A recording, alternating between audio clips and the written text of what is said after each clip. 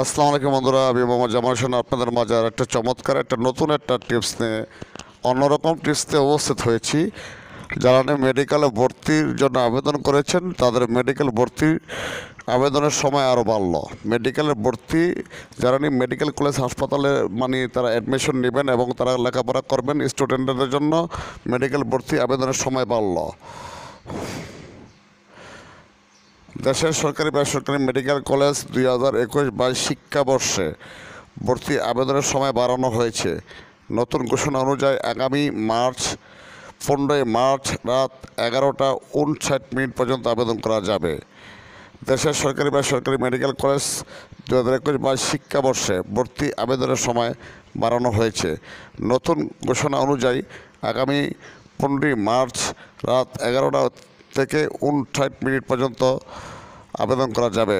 আর আবেদন ফি জমা দেওয়া যাবে ষোলোই মার্চ রাত এগারোটা উনষাট মিনিট পর্যন্ত। বুধবার রাতে স্বাস্থ্য শিক্ষা অধিদপ্তর পরিচালক, চিকিৎসা শিক্ষা এ কে এম আহসান হাবিবের সই করা বিজ্ঞপ্তি থেকে তথ্য জানা যায়।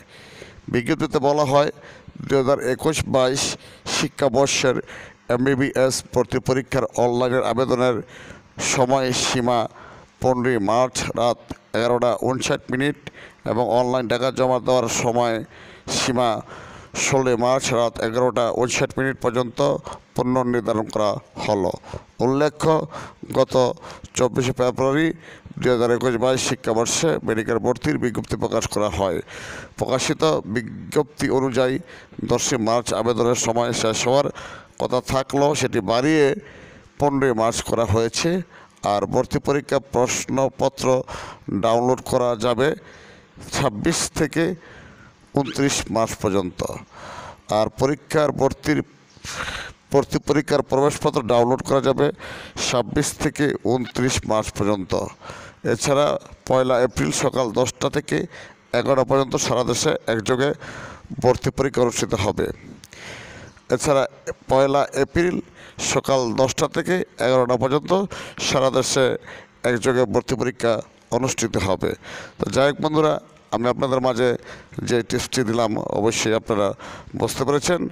আপনাদের কি টিপসটি নিয়ে আমি উপস্থিত হয়েছি? এই যারা নিয়ে মেডিকেল স্টুডেন্ট যারা মেডিকেলে ভর্তি হবেন, তাদের সময় আবেদনের সময়সীমা বাড়ানো হয়েছে। তো বন্ধুরা, আমার ভিডিও যদি ভালো লেগে থাকে কমেন্ট করবেন লাইক করবেন শেয়ার করবেন। আশা করি আপনারা ভালো আছেন, ভালো থাকুন, দোয়া করি, এ বলে আমি শেষ করছি। আল্লাহ হাফেজ।